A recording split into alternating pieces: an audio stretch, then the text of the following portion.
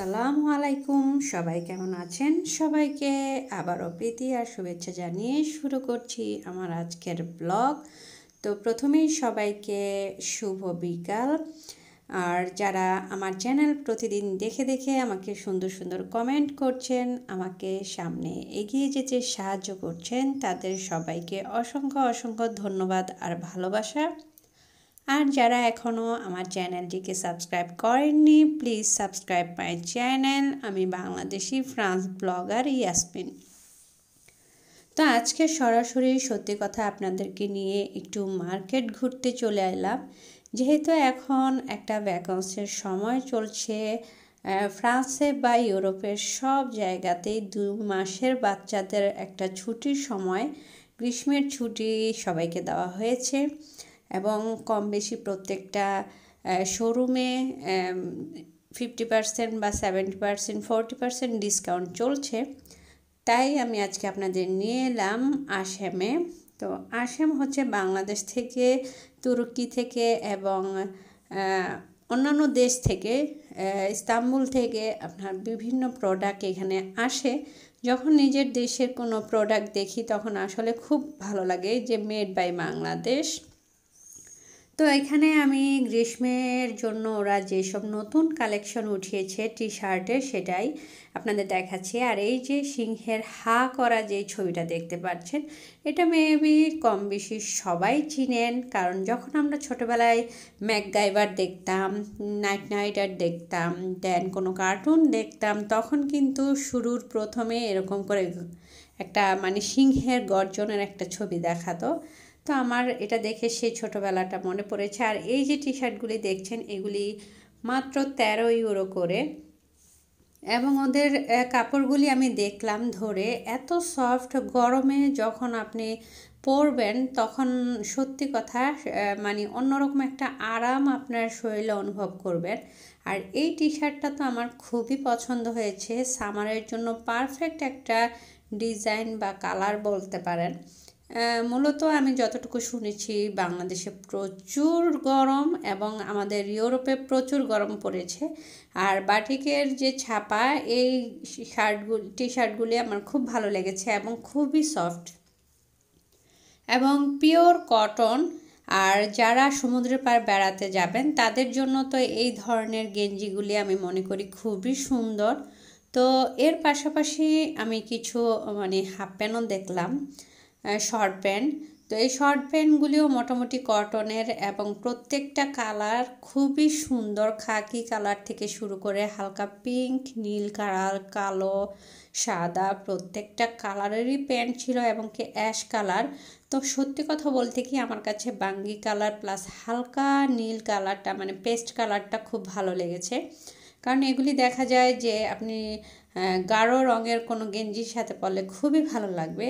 আর এই যে শর্ট প্যান্টটা দেখছেন হাফ প্যান্ট মানে এটা হচ্ছে একবারে মোটা জিন্সও না, আবার একদম পাতলা গ্যাবাইডিংও না জাস্ট পাতলা একটা জিন্সের মতো, খুবই সফট যদিও পঁচিশ ইউরো আমার মনে হচ্ছিল খুব বেশি একটা দাম।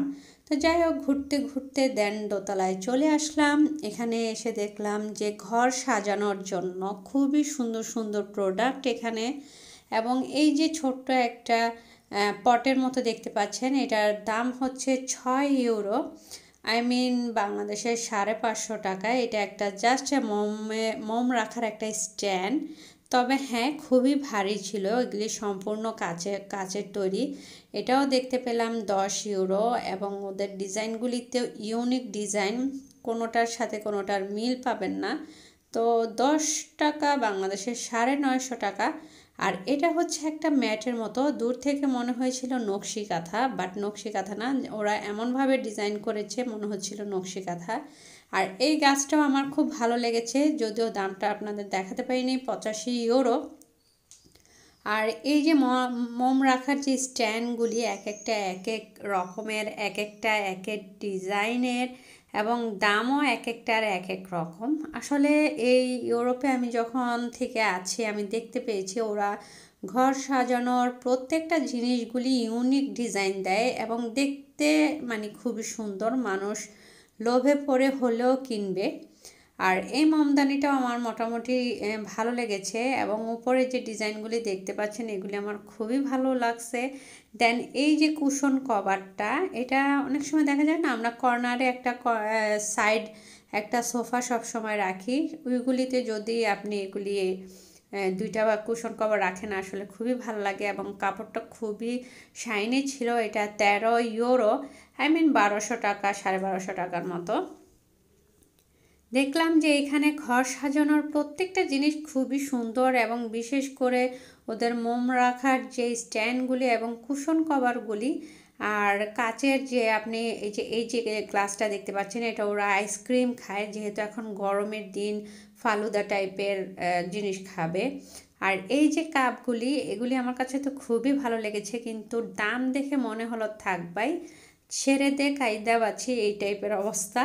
আর এগুলির সাথে ম্যাচিং করে মানে যে প্লেটগুলি রেখেছে, আমার খুবই ভালো লাগছে। মাঝে মাঝে চিন্তা করি, এত বড় কাপে ওরা কীভাবে কফি খায়, আল্লাহ মামুদ জানে।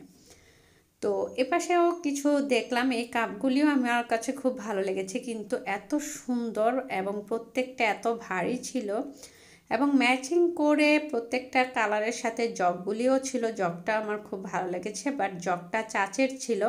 আর এগুলি হচ্ছে মেবি আপনার দরজার পিছনে বা আপনি কোথাও হুকস ভাবে লাগিয়ে দিয়ে জাস্ট কোনো কিছু ঝুলানোর জন্য। দেন এগুলিও দেখলাম কাছের আর মানে কাপের মতো। ওরা এত বড় বড় কাপের মধ্যে কি খায়? অবশেষে দেখলাম সোনার চামিচ। তো সোনার চামিচ অ্যাকচুয়ালি ফাজলামো করলাম। জাস্ট গোল্ডেন কালারের আর এটা হচ্ছে আপনার টিস্যু রাখার স্ট্যান্ড তো প্লেটগুলি আমি যতটুকু বুঝতে পারলাম, এখানে ওরা ম্যাচিং করে সব কিছু রেখেছে। আর এই কাপটা সত্যি সত্যি অনেক ভালো লেগেছে। তবে দামটা দেখে একটু ইয়া, একটা কাপ জাস্ট পাঁচ ইউরো। এবং প্রত্যেকটা জিনিসই খুব সুন্দর ছিল পিরিসের দামও ঠিক ওরকমই ছিল।